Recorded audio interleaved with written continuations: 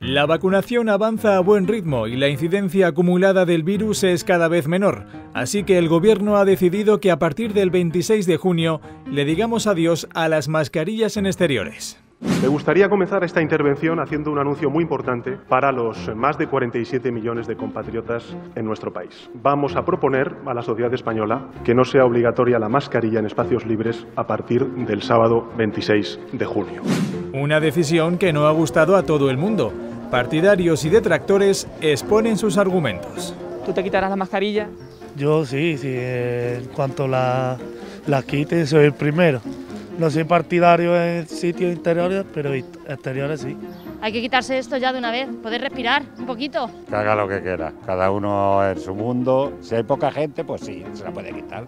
Pero si hay mucha gente, pues yo no lo recomiendo. Yo creo que aquí ha habido un antes y un después y lo suyo es pues por higiene mayormente. Yo no me la voy a quitar hasta que no vea a la gente con ella sin ella, sin mascarilla. Entonces me la quito yo, si no, no. ¿Usted se va a quitar la mascarilla al aire libre aunque recomienda? Al aire libre sí, de hecho lo, lo hago ya en, en, la playa donde, donde he estado y donde voy a estar y sí, al aire libre y andando mm, me la voy a quitar.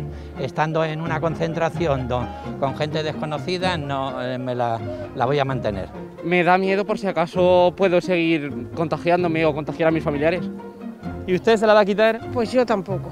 Ya tendré que estar muy, muy sola y muy aislada para quitármela, pero en, ya tiene que ser en sitios que esté muy, muy alejados de la gente, porque me da igual, me da un poquillo de miedo. Sí, sí, me la voy a quitar, sobre todo cuando salga a la calle, al aire libre. Todavía tengo un poco de miedo de quitármela, no sé, estaré en algún sitio, pero con ella puesta. ¿No se la quitará ni un poquito en algún sitio? Bueno, me la quitaré un poquito, pero de una vez me la pondré porque todavía siento miedo, porque ya me dio y me dio muy mal el COVID y no quiero otra vez que volverlo a pasar. Voy a seguir llevándola. ¿Y eso? Porque por precaución, más que nada porque esto no desaparece así por así, así que en lugares públicos como autobús o sitios cerrados la voy a seguir llevando. Si todo el mundo vacunaba, pues sí, pero como mucha gente no quiere vacunarse, hay mucho riesgo para nosotros. ¿Usted por el momento la mantiene? Sí. Que el bicho está en la calle, así de claro.